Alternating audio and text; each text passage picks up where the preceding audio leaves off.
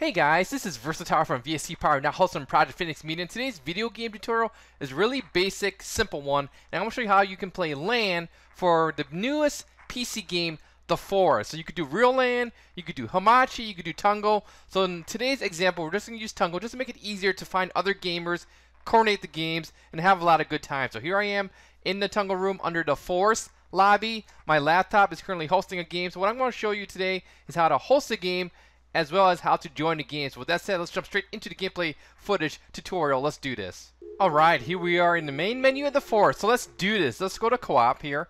And let's say you want to create your own game. So go ahead, create your own game. Make sure you port forward UDP, TCP, port 27000. You can join yourself and other people can go ahead and join you if they know your IP address and port.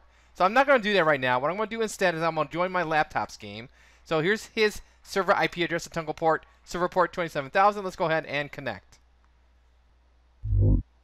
All right, let's go ahead skip all this stuff here.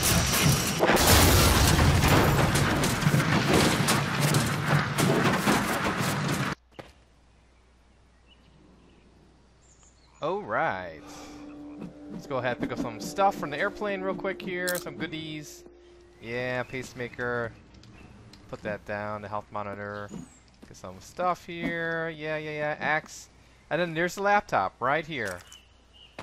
Sorry, it's lagging a little bit. But here we are. Here's the laptop. I'll make the laptop walk around. Hey, look at me. Yeah, I'm dancing. Yeah.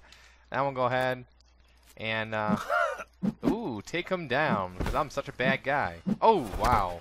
So that's today's video game tutorial playing the Forest LAN online, or you can do real LAN as well. So you guys have any nitpicky questions, comment here on YouTube page. I'll get back to you as soon as possible. Once again, thank you for watching.